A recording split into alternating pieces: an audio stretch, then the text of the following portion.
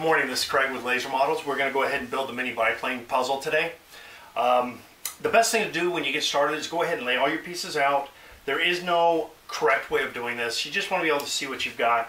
These pieces are numbered. You can put them in a numerical number, but the first thing you're going to do is you're going to start with the tail and the centerpiece number one. So you're going to want those. Then it says two, three. So you're going to grab part three, part two, part three, part two. And let's see, let's get them on the right side because they're going to sit this way. So I want to make sure we get them on the right sides. So the first thing you're going to do is you're going to slide part one on. Then you would think you would put the one next to it and then the outer one.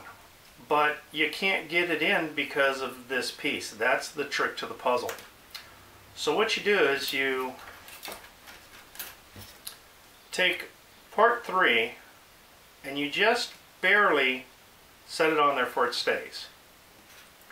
Keep your finger back here, take part two, lean it out a little bit because what's going to happen is going to lock there. So you want to get it in there, bring it over and lock it, then slide this piece back.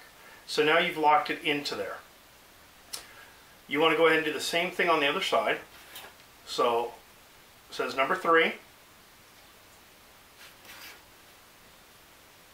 number two, and push it in. Okay, at that point in time, what you do is you take the wing and you slide the wing through. And the reason you want to do that is just to hold things in place right now. So you can just set it down if you want to. You have the little propeller and stuff. Now that goes into the front.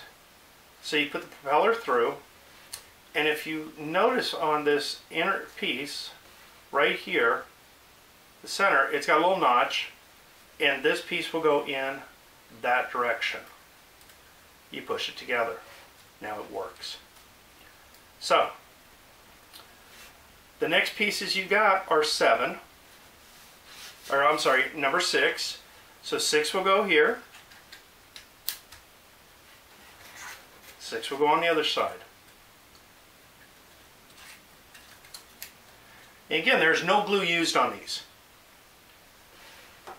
So now at that point in time, you've got seven. With the number up is the side you want to put it on. So this seven is going to go on this side. This seven is going to go onto this side.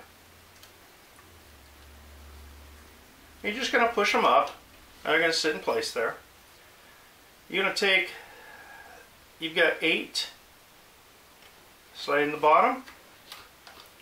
Got number eight, again, slide it into the bottom. Top wing, slides into the top slot.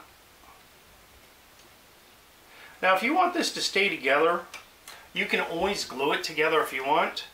But here's the finished model. And you're able to take it back apart and put it back together again. Thanks for joining us. We'll see you on the next video.